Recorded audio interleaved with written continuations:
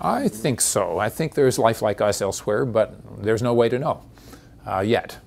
Uh, people have been listening for signals from other places uh, through the SETI project, the Search for Extraterrestrial Intelligence. So far, nothing has been noticed that uh, would tell us that there's life elsewhere. We know that we already have technology where we could send messages across our entire galaxy, and people like us that knew to listen would be able to pick up the messages. But there's nobody over there with the right equipment pointing at us that we know of, and so we didn't already have a chance to exchange the information. so they could be there and we would never be able to find them. But my guess is that it's pretty rare.